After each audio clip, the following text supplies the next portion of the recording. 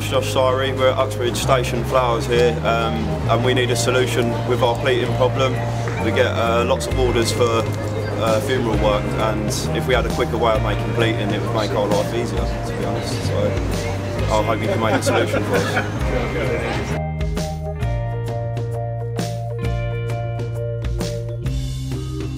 Basically, the way how you pleat is you grab the ribbon, you fold it one way, and then you staple, and then you fold back the opposite way, and then you staple again, and then you repeat this consistently until you get the right amount of pleating that you need. And uh, the thing with pleating is it's not too hard. It's not too hard. The, it's the thing that takes too much time, and we don't have a lot of time. Obviously, being on the front of the store, uh, we have to serve customers in between as well. So it can take up to a whole day just to do eight arm lengths, So having a pleating machine would make life a lot easier for us.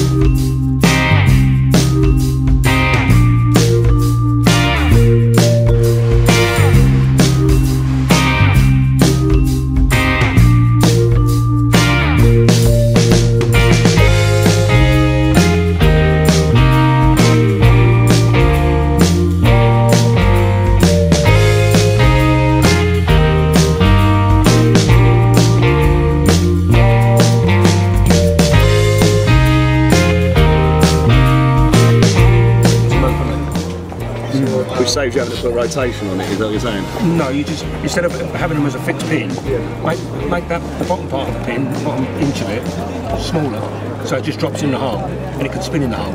Ah, okay. Then, then I've got freedom of movement pull, pull, to pull through. That's, Very pleased, very pleased.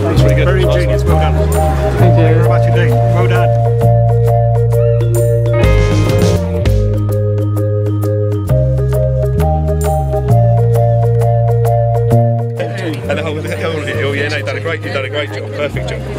No, really good, mate. Yeah.